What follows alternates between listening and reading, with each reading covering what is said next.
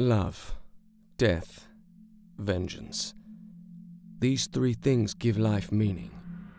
But what is life without love? Love of a person, love of a place, love of life itself. Our vices drive our accomplishments. And what is the sin of greed but love of money? Or pride but love of self? And without the fear of death, shall we not become complacent and forget the value of life itself? But when that which we love is stolen by death, taken before its time by the malice of cruel and jealous men, what answer can there be but one? Vengeance, pure and cold and beautiful.